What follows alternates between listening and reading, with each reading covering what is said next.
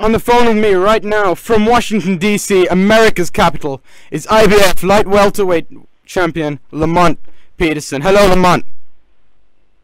Hey, how you doing? Not too bad. Yourself?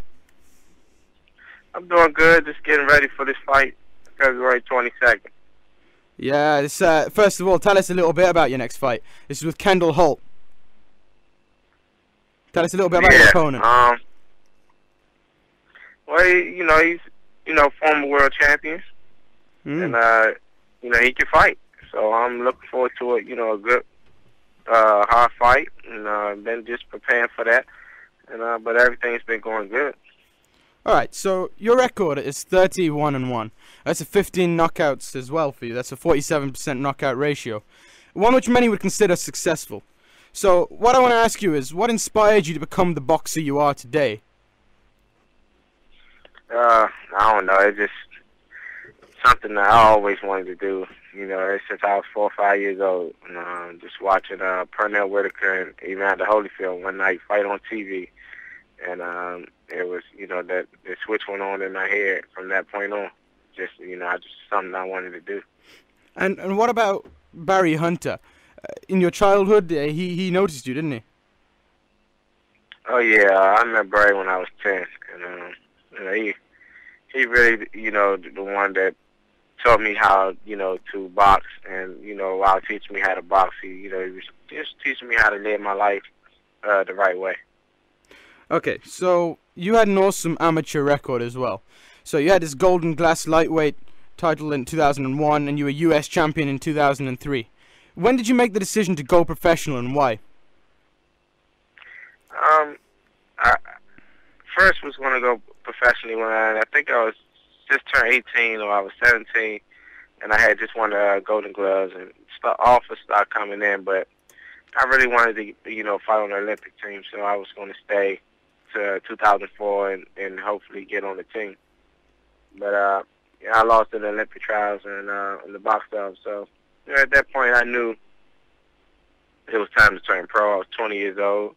Uh, was really nothing left uh, for me to do in the amateurs, but wait around and, and try to go to the Olympics again, which I would have been 24 years old. To me, it was just you know too old. So I just you know I decided to turn pro. And how did you pick yourself up? I mean, you went two, was it 26, 27 fights undefeated? Yeah, Yeah. And obviously, yeah it was it was a good start. You know, uh, starting off, you know, you know, with 26 wins in a row. You know, we, we was on the road. You know, but then you get to championship level and you realize that you know things are Things not are tough, it's not that easy. absolutely. So, Mhm. I mean, these these fights, Bradley, Tim Bradley, and Victor Ortiz. Why don't you tell us a little bit about those fights? How significant were those to your career? Uh, well, both of those fights were uh, most important fights, and, and at the time in my career, um, you know, fighting Tim Bradley, that was the first title, you know, fight I, I was in. I learned a lot from that fight, you know, inside and outside the ring. So, to me, that's still the most important fight to me. It's fight that I would, uh, I would love to rematch him, you know, someday in the future. But you know, I learned a lot from that fight. Um, just on how to prepare myself for a championship fight and how to go out and um, handle myself, you know, on that level. And Yeah, then uh, yeah. the Victor Ortiz fight, it, it was a difficult fight starting off, but you can see that uh, the progression from, you know, the, the, the things that I learned in the Bradley fight helped me in the uh, Victor Ortiz fight. And then uh, the you know, after the Victor Ortiz fight, you know, what I learned from that fight helped me Yeah. in the, you know, in, the, in my next two fights. And in your next two fights were very significant. Your world title victory over Amir Khan. Now, how significant was that to you? What did it mean to you? It, it, it just it meant a lot to me. Um, just you know, fighting for 17 years at the time. You know, all that hard work and time and dedication put into, you know, this boxing game, and you know, I just felt though that night it, it finally paid off. All right. Amir Khan in the UK He's got a large following. What would you say to the UK fans about the cancelled fight last year? How much of an impact did it make on you? And do you think it could happen in the future? I think the fight will happen in the future. I'm almost sure of it. Um, I would like to apologize for the delay, but it'll happen. It will happen. Okay. Uh, and since then, you've signed with Golden Boy. What does that mean for you? Well, it's a big step, you know, in my career. Um, just give me the insurance that, you know, as long as I take care of my business in the ring, I know I'll be in big fights um, in in the future. And hopefully, you know, one of those big fights with a big company. And now that you're world champion, what sort of future aspirations do you have? And what sort of message would you give to the fighters in your division right now? I'm talking to Danny Garcia's, Juan Manuel Marquez's. What sort of message would you be sending out to them? Uh, I don't really think I need to send a message to them. They know I'm here. They know I'm holding the IBF title, and mm-hmm. uh, they know if, if that's the title that they want, they're gonna have to fight. Oh, they're gonna have to fight, aren't they? Uh, and you haven't fought for over a year now. This is this is one thing uh, I'm sure you've you've been asked a lot. You haven't fought for over a year, 14 months, and last time you had a fight was December 2001. Uh, sorry, 2011.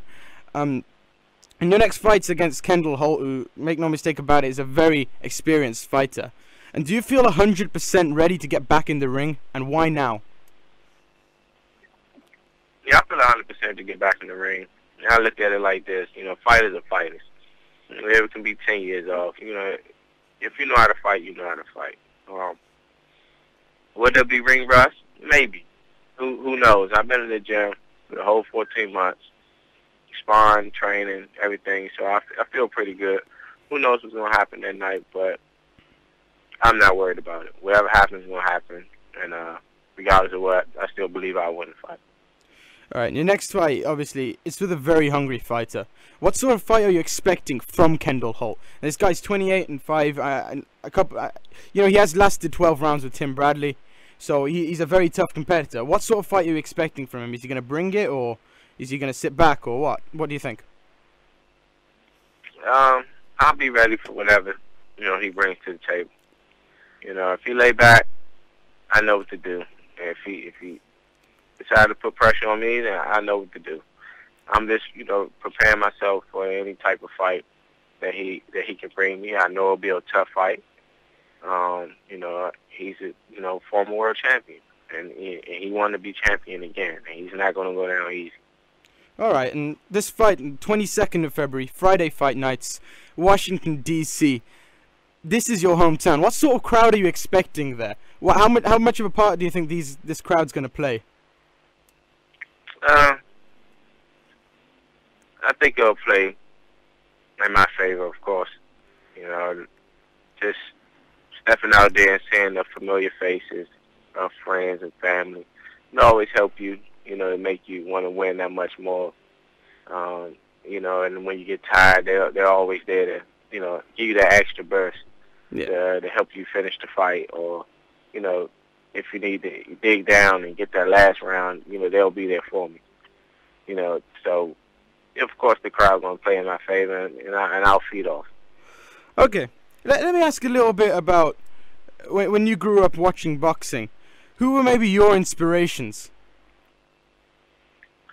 Uh, starting off, it was Pernell Whitaker and uh, Evander Holyfield, and then you know when they start uh, getting older, and you know, and was leaving out the game. Then it was like Roy Jones and Sugar Shane Mosley, and you know, then I really start going back, watching older film, and you know, Julio Cesar Chavez and Sugar Ray Leonard, you know, were two of my favorites from you know back then. And then you know, I really started getting deep into boxing, and you know, Sugar Ray Robinson probably my favorite fighter. Okay, did they, did they sort of affect you? Affect you? Uh, did you uh, sort of learn to emulate them? Uh, anytime you watch um, tons of footage on a person, regardless if you want to or not, you're going to take something from them and emulate them. Just you know, just a little bit. I don't want you know take anyone's style or or try to copy someone's style. So you know, I'll just try. You know, I just steal a move here and there and, and leave it at that. All right, just deviating a little. I know you're a big fan of football. When I say football, I mean American football. When you say football in the Okay. UK, people think it's soccer. Yeah. Uh-huh. So, tell us a little bit about the team you support. I think Washington Redskins. Uh, yeah, I support the Redskins, of course. You know, that's my home. Yeah. Uh, That's my hometown, and and and um, you know, it was, you know, it was a lot of ups and downs this season. You know, everybody was, uh, you know, psyched about RG3. Then he he gets hurt. And then everybody was down. He come back. Everybody Yeah, was hype again, and then then he's out for a long time. So everybody's down right now. And hopefully, you know, February 22nd, I can, you know, bring some light back to the city with a big victory. Tell me something as well. Uh, in, terms of an athlete's point of view, this this RG3 injury, it's massive. Now, is when he returns, is he going to be the same sort of football player? Is he going to be the same when he comes back? Obviously, as an athlete, you you know this kind of thing. Uh, I hope so. And uh, the way these doctors, you know, the work that they do these days are amazing. So, yeah, I expect them to be, you know, 100%. You know, when he come back, I just hope he don't try to rush and come back, because that's when you know the problems, you know, occur. You know, and then you think you're ready, you're not telling everybody that you're not ready, and then you know, same thing that happened last time Mm. you know, just because you don't want to take out one game, then you end up being out for a whole season. So I hope, hopefully, he take all the time that he need, and when he comes back, he's 100. percent I, I believe he can do it. All right, Sunday, 3rd of February, Super Bowl. We've got the San Francisco 49ers versus the Baltimore Ravens. Baltimore Ravens, obviously, they've got Ray Lewis. It's going to be his final game. The San Francisco 49ers, uh, I think th- they're a very popular team down here in the UK. Who do you think's going to win this Super Bowl? To be honest, I, I, I can't pick one. Um, I'm I'm gonna have to go with the Ravens because they're they're close to home. They're only 40 minutes away, so I'll be pulling for them. And you know, Ray Lewis last game, so I'll be pulling for him. But I really don't know who's gonna win the game. That's a, that's that's a fair uh, fair analysis there. Now, if we go back to boxing, in the UK, would you come and have a fight in the UK? W- would you come here? Yeah, I would love to fight in the UK. Yeah? Um, every time, you know, I, I've been over there, and, uh, you know, even though you don't like Twitter, you know, they, people show me a lot of love. So, and I know it's, you know, it's, boxing is big over in the UK. That's So I would love yeah. to, you know, go over there and fight. Is there is there any uh, is the young is there any young British boxers that have caught your eye recently? Uh, I watched the Olympics, and you know, the crew that that that uh, that y'all had out there, were, were, they were pretty good fighters. And uh, Kell Brooks, you know, I, I watched him fight a few times. I like the way he fight. I expect him, you know, to eventually be a world champion. Okay. Finally, Lamont, many of our listeners uh, may have hopes to become top athletes in the future. We have a lot of kids following this who want to be boxers in the future. What sort of advice would you give to them to maximize their chances of becoming successful? Um, if you get into the boxing game, it- it requires more than just your time. It requires a lot, you know, out of you. If you- if you're not willing to give it your all, then I suggest not do it. But if you decide to do it, just give it your all. You know, it's a it's a really rough sport, but it's a it's a really good sport. It's a sport of you know a lot of times ups ups and downs, but for the most part, you just follow your heart. You know, it's it's a sport that you have to love. You can't just like the box or Yeah. want to box because my friend boxed so I saw it on TV. It has to be something that you love. All right, okay. 22nd of February, Friday fight nights, Washington D.C. What are we gonna see if we if we tune in Friday fight nights? What are we going to expect? Your fight against Kendall Uh, Holt. expect a great fight. Of course, at the end of the day, you know, I'll be victorious. Whether it's a decision or knockout or however it goes, I just know that, you know, I'll come out with the right game plan. Me and my team will come out with the right game plan and we'll win the fight. But expect a, a good fight, a good crowd, uh, a exciting night for, you know, for my boxing team, Headbangers, and for DC. All right, Lamont, I want to thank you for speaking to us. Really appreciate having a world champion talking to us on the Sports Lounge in 93.5 Unity FM. No problem. And good luck in your fight no against problem at all. It's been a pleasure right, talking thanks, to you, man. Thanks a lot.